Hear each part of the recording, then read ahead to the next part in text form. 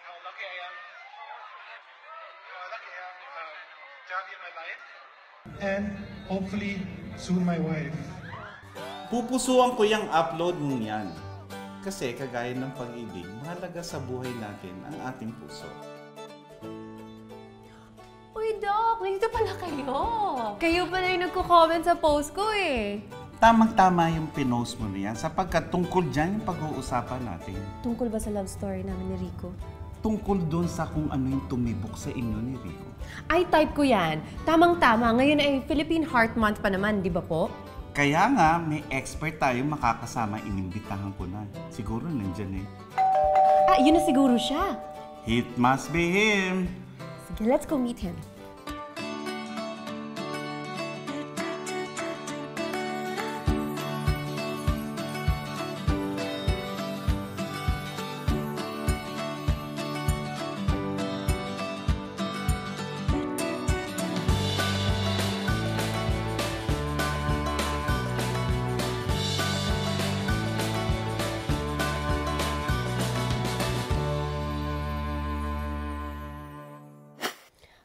Welcome, Doc Ed. Hi, Ma'am Carla. Hi, Doctor.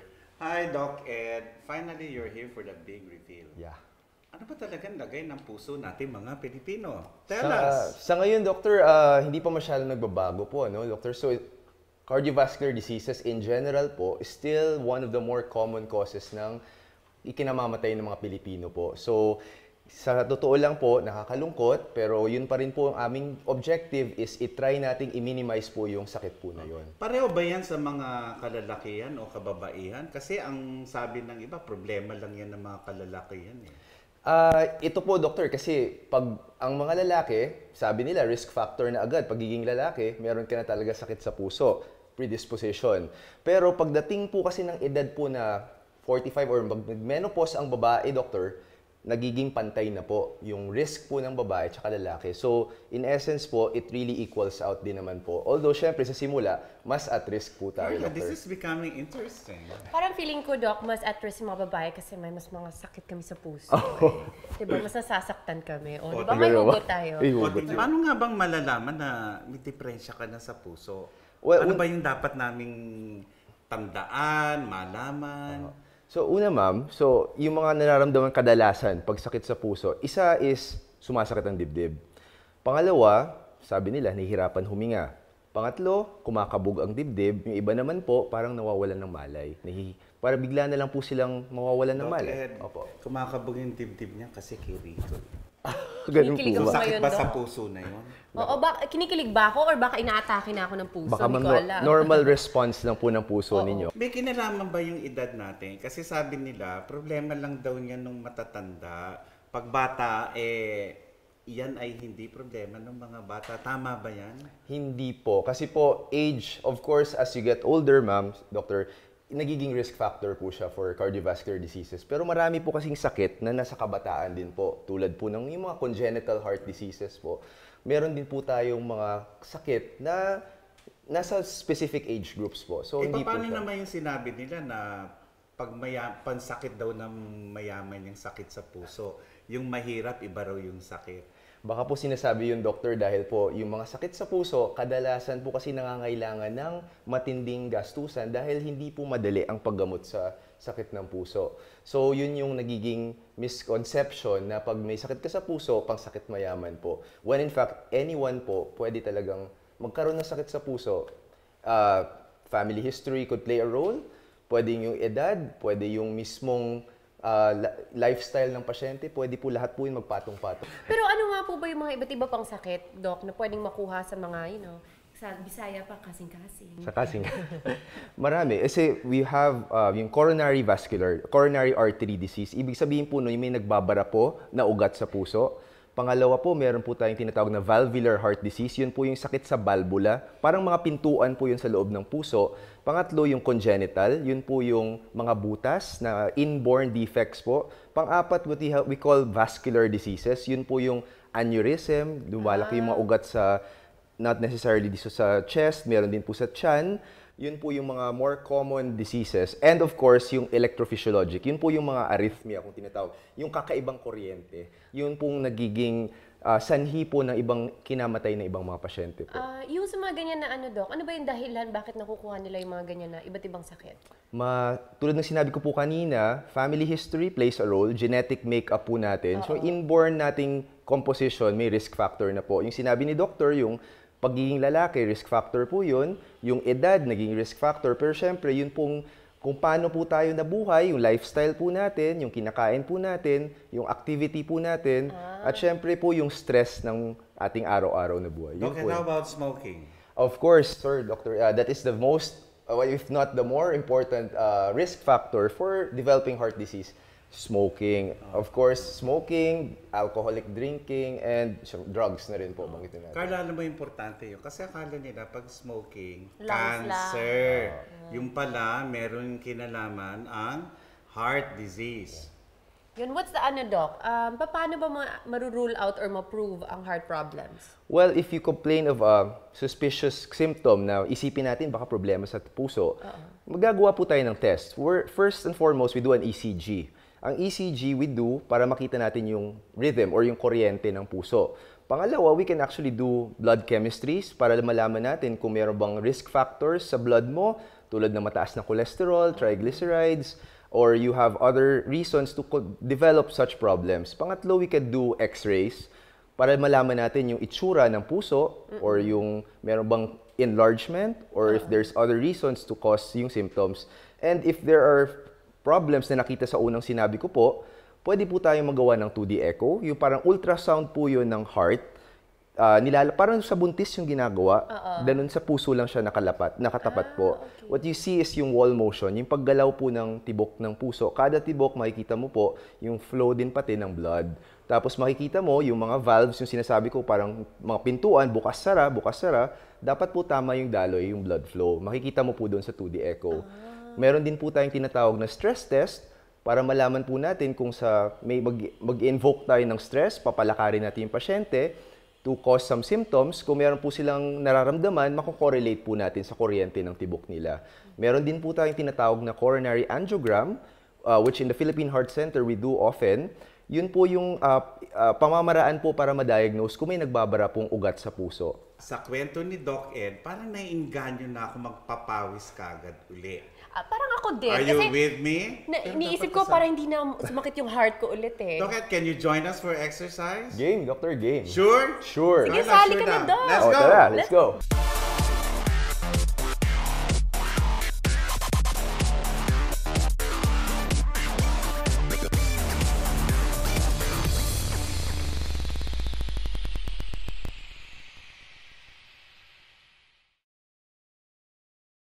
Problemado ka, kaya susubo ka. Pinipressure ka ng barkada, kaya ka nagpapadala. Illegal na droga, wag nang subukan. Ang mga ito ay nakasisira ng kaisipan at kalusugan. Tandaan, wala sa umpisa o sa gitna, kundi na sa huli ang pagsisisi. Sa droga, talo ka. Achieve ang pagbabago. Not true. Hindi lang para sa mga hirap sa buhay yan. Yung nabubuong bond. Priceless. Hindi siya sakitin. Cute nga eh. It's the best source of nutrition para kay baby. Sinunod ni Doc yung wish ko, yung unang yakap. When I held him, naiyak ako. Wala talagang tatalo sa breast milk. Join us. Breastfeed your baby. The best pa rin ang nutrisyon galing sa nanay.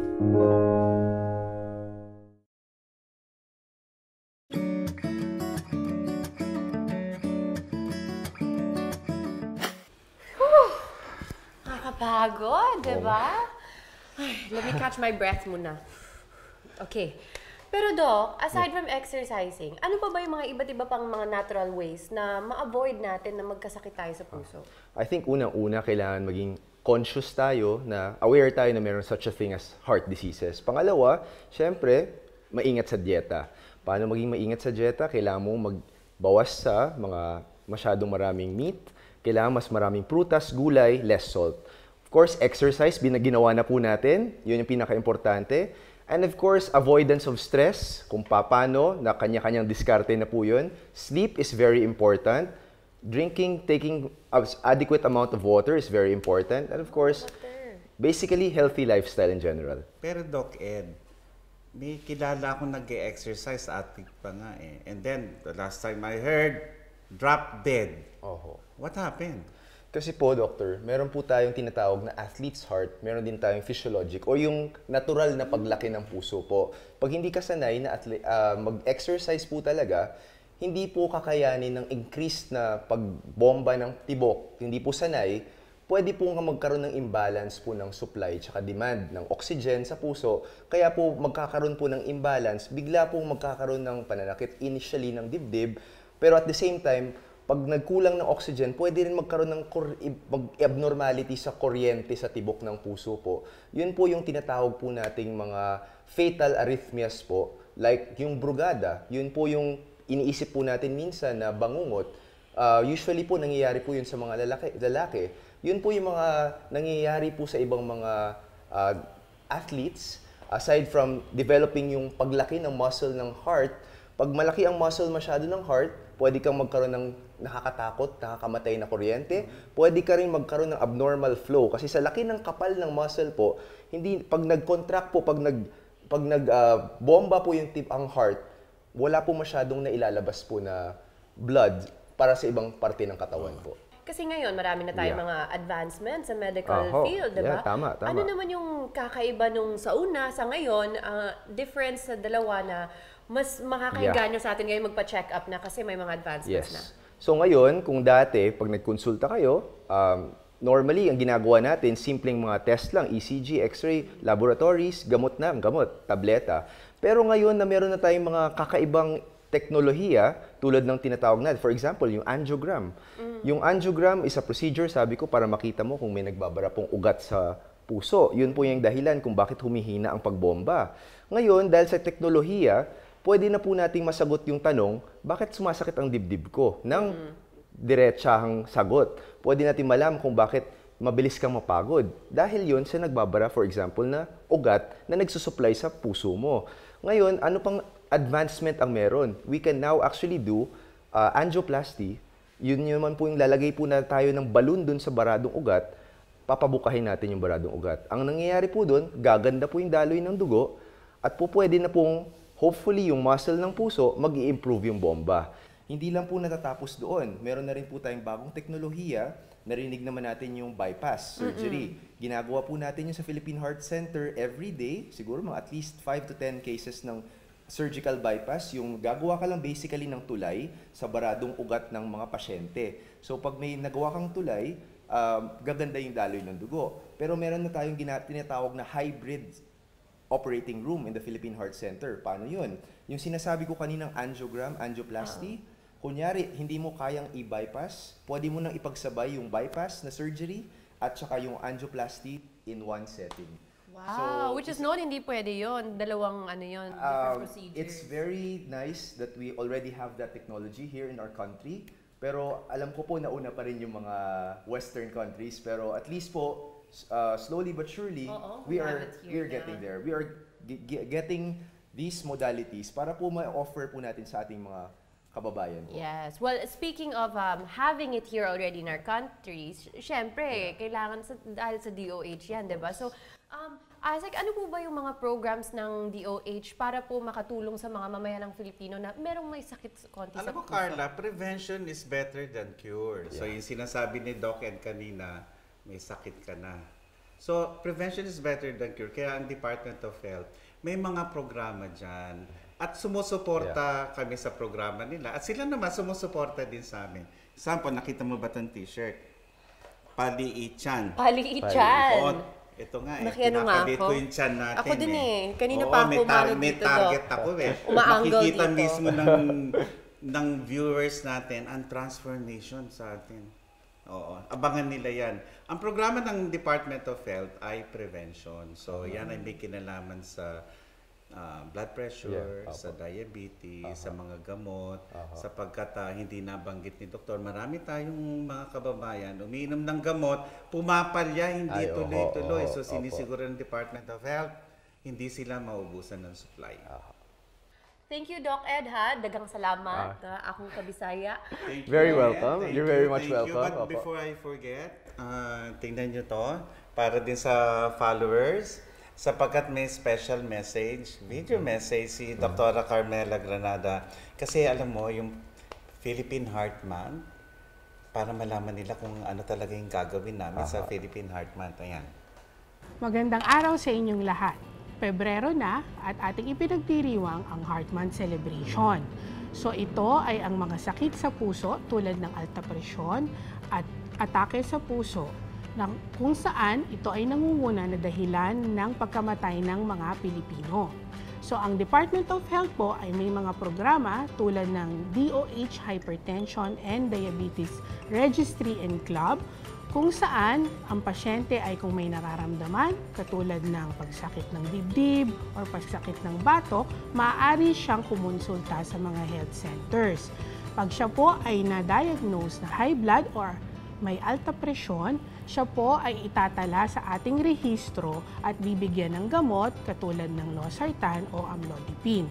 Bukod po doon, meron po tayong mga clubs or hypertension and diabetes clubs kung saan hindi lamang po gamot ang ating ibinibigay, kundi atin pong ah, itinuturo sa ating mga pasyente ang pamumuhay ng malusog. So kailangan po nating mag-exercise ng 30 minuto kada araw. So kaya po sa mga susunod na episode, huwag kayong mag-alala, Asik Eric at Ma'am Carla, sasama po ako sa inyong ehersisyo. Maraming salamat. Yan na. Meron pa tayo isang bisita. From the heart to the skin. It's all about leprosy o ketong. Ay, parang interesting yan, ah.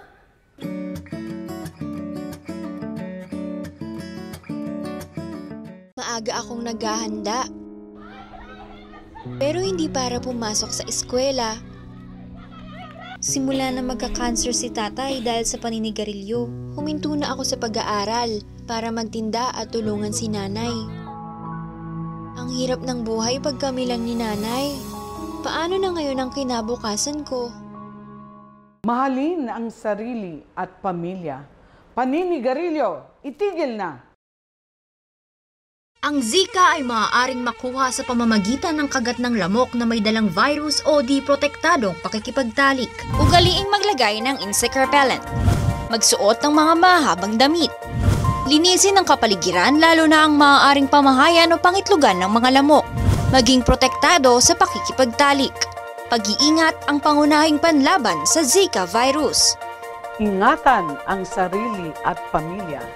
Iwasan makagat ng lamok.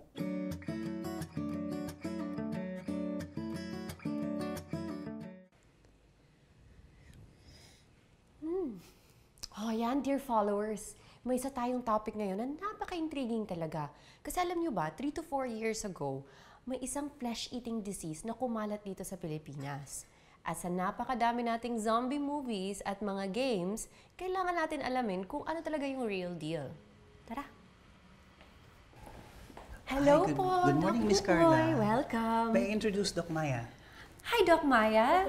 Thank you for being here po. It's a pleasure. Thank you. I know, I'm very privileged na kayo pong dalawa kasama ko ngayon kasi kailangan ko po ng tulong. Kasi gusto ko po malaman kung ano nga po ba ang leprosy or ketong at anong nakakaiba sa kanila sa mga iba't iba pang skin diseases. Okay, bago tayo magsimula niyan, yung, yung word na ketong, hindi na po ginagamit yun. Ah, okay. We make use of the word Hansen's disease or leprosy. So leprosy is i- ang pagkakaiba ng Hansen's disease sa ibang ibang mga ah, sakit ng balat is that ito ay nakakahawa na kung hindi mo masugpo kagad Mm-mm. ay nagkakaroon ng maraming tinatawag na grade 2 disabilities. Gaya ng ah, na, na, napuputol mga daliri, nabubutas ang mga paa. And uh, etong sakit na to kailangan gamuting mabuti. Um, madami kasi tayong klaseng sakit sa balat, no? Ah, yung leprosy, ang isang pagkakaiba niya ay iba't iba yung itsura niya. So, protean, yung kanyang manifestations. May mga, ah, may mga instances na madaming skin lesion sa iba't ibang bahagi ng katawan. On the other hand, meron din namang instances na isa o dalawa lang na lesion sa katawan.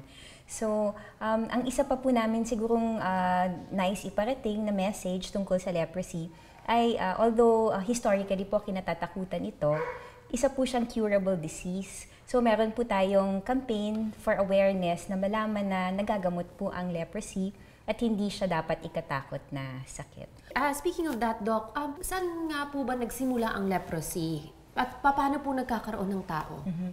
Isa po itong infectious disease. Isa, ang sanhi niya ay isang bacteria na katulad ng bacteria din ng TB.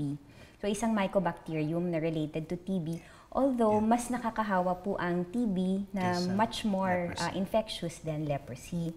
Pero ang um, ang accepted po na mode of transmission ay respiratory. So sa pagbahing, sa pag-ubo, uh, doon po siya nak- nakukuha by inhaling the bacteria. Kaya importante na pag inubo yung tao at ah, babahin siya, tatakpan niya yung ano yung bunganga niya bago umubo or bumahin. But then ang ang isang ano, ang isang ah, characteristic of leprosy is that 90% ng ah, ng total population ay resistant or has developed immunity to leprosy. Yung 10% of the population na ang pinoproblema natin at kailangan magamot sila. Since leprosy is a very good mimic from other skin diseases, mag- nagagaya, parang nagagaya niya yung iba't ibang sakit ng balat, gaya ng an-an, mukha siyang an-an, mukha siya ng psoriasis, mukha siya ng kung ano pang ah, allergies, it needs to be examined. Yung kung, kung merong nakikitang kakaiba sa balat, kailangan ma-examine ka agad ng doktor. Yun nga din po, Doc. Kasi kung ano siya, kamukha niya naman ang an-an or kamukha niya yung mga ibang skin diseases, pa- paano mo talaga, kaya mo bang ma-diagnose sa sarili mo na, ay, bak leprosy to? Or kailangan yung doktor lang talaga? There are certain signs na tinitingnan natin. Ah, yung kung kung yung skin patch or yung kakaibang parte ng balat is ah, nangangati, hindi ano yan, most probably this is fungal infection. Kung yung skin patch is walang nararamdaman, medyo duda na tayo doon. At doon kung medyo matagal-tagal na lalo yung ano yung skin patch na yun, then lalong magdududa tayo nun. So in in any case, kung ano ang nakikita doon sa balat, kailangan mapa-examine ka agad. Mhm. Um, ang unang-una, ang goal kasi natin, ano, yung ma-diagnose ka agad at magamot ka agad yung mga pasyente bago pa sila magkaroon ng tinatawag ni disability na dinedescribe ni Doc Buboy kanina. So, ang pinakamagandang way para ma-cure ang pasyente and para hindi sila mag- magkaroon ng disability is to diagnose them early. So, yung may mga cardinal signs tayo na tinatawag, ah, isang namumula or namumuti na patch ng balat na matagal nang nandoon. So yung leprosy hindi siya yung lumitaw kahapon at ah, ah, mas mas matagal po siya ah, long term na sakit. So ah, ang hindi, nawawala na patch sa balat na medyo mapula or medyo maputi. At ang isang pinaka-important na sign niya yung kawalan ng sensation, namamanhid, makapal yung sensation. So, ah, isa sigurong message yun sa ating mga nanonood, no? Na kung merong um, may mga patches sa balat na uh, with loss of sensation, very important po na patingin nila kaagad sa pinakamalapit na health center or the closest uh, dermatologist. Ah, or so pumunta specialist. agad kung may ganun na Yes. sintomas Mm. na. Ah, pero Doc, may ano ba, may mga tao ba na mas prone sa leprosy kesa yung ba yung iba ba kasi sin-mention niyo po Yeah. kanina na may mga immune na, 'di ba? Mhm. Pero meron bang mas prone yung kunwari mga mas malapit sa dagat or something, ewan ko lang po, ano lang ko po yun. Pero something Miss- like that. Miss Carla, those who are most prone are those most immunologically com- compromised. Yung hindi hindi eksakto yung nakakain, the protein uh, source or including yung yung environment na very closely mga ano ng mga ta- Overcrowding. overcrowding. That's uh, that's the word. Overcrowding of people inside a uh, community or in a room or in a village. There's increased chances of um, yung nasa, na, nalalaghap or nasasagap nila yung mikrobyo. Kasi nga ano eh, yung yung some of the factors that that um, would affect transmissibility of the disease is kung gaano ka palaging nakakalanghap ng mikrobyo from the others who are infected. And then another one is you know nutrition factor number two. And then number three is they're, they're thinking of a theory on genetic uh, predisposition. Kaya nga yung 10% most probably has some sort of a genetic uh, defect although it's not yet proven kasi ongoing po yung research natin doon. But then yung most ano most apparent factor for increased transmission is crow- overcrowding and decrease in immunity. Pero Doc, may, may isa pa din akong tanong. Kumusta naman yung dito sa Pilipinas, yung cases ng leprosy? Ma, ma, ma- ano in ba? terms of leprosy in the Philippines, we are now in the tinatawag din ng last few steps or last few kilometers ng control of the disease. In 1998, yung ano yung number of cases po natin bumagsak na. Ah, mabuti Bumagsak naman. na, it was considered no longer a public health hazard. Ang problema lang noon kasi everybody became complacent. Mm. Instead of talagang tuloy-tuloy na mawawala yung sakit, nag-maintain siya, nag-plateau at around 1,500, 1,600 cases sa buong Pilipinas. And our aim program is to decrease it in such a way na zero na yung kaso na nahahanap natin. Mhm. So for now, our state is plateau state and we have to do more to find them kasi nga dahil yung mga merong sakit ng leprosy ay nagtatago. Mm-mm. Baka nahihiya. Dahil nahihiya sila. Ang ang ano lang dapat, yung sakit na leprosy ay hindi na ikakahiya dahil sa unang gamutan pa lang, first intake of the first dose of um, itinatawag natin multi-drug therapy, yung transmission is already stopped. Kung meron siyang nakikitang mga simptomas at ma-diagnose ka agad na leprosy, then mabibigyan ka agad ng gamot, then transmission stops. But it's not until there. They have to Ah. continue taking yung, yung gamot for the next 12 months. If only the disease is discovered early, yung mga disability na ganun, hindi May mangyayari. iwasan. May iwasan yun. Ah. So, dapat nga, yung, yung stigmatization and then yung ikinakahiya na sakit, dapat mawala yun. And then for people na may nakikita na merong may sakit na leprosy, dapat huwag nilang ano, pandirihan. They Oo. have to request them to check and seek consultation para magamot ka agad. Tsaka pwede naman silang maging productive members. Wala namang dahilan. na- Oo. Kaya dapat ano, malaman na to ng mga mamayang Pilipino natin, 'di ba? Speaking of ating mga mamayang Pilipino, may follower po ako na gusto pong magtanong ng question po sa inyo. Ano po yun, Miss ahead. Shoot. Ah, sige po.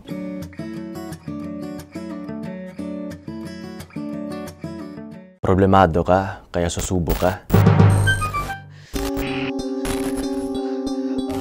Pinipressure ka ng barkada, kaya ka nagpapadala. Illegal na droga, wag nang subukan. Ang mga ito ay nakasisira ng kaisipan at kalusugan. Tandaan, wala sa umpisa o sa gitna, kundi na sa huli ang pagsisisi. Sa droga, talo ka. Achieve ang pagbabago. Maaga akong naghahanda. Pero hindi para pumasok sa eskwela. Simula na magka-cancer si tatay dahil sa paninigarilyo, huminto na ako sa pag-aaral para magtinda at tulungan si nanay. Ang hirap ng buhay pag kami lang ni nanay. Paano na ngayon ang kinabukasan ko? Mahalin ang sarili at pamilya. Paninigarilyo, itigil na.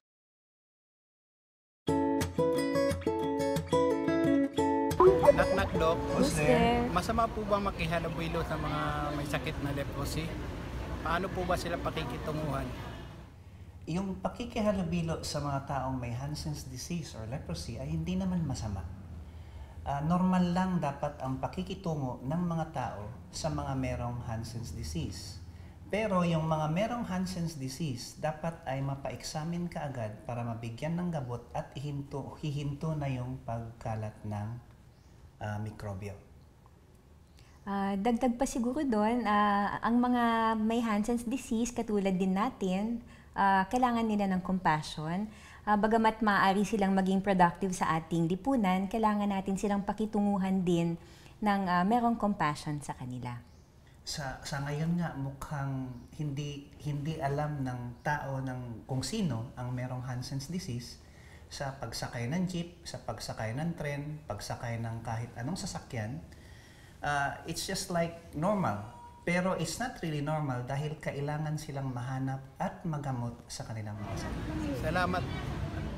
Thank you so much po, Doc, sa pagpunta niyo at sa pag-educate po sa akin. Salamat din. So ngayon, kukuha pa ako ng more desserts para magchikan pa tayo. O, ayan. Dear followers, marami tayong natutunan about leprosy ha. Pero ang dapat nating tandaan palagi is, malasakit works best. Always remember, laging makitrending dahil ang healthy lifestyle ay laging nasa uso. Kaya magkita tayo dito sa The Doctor is In dahil wellness is in.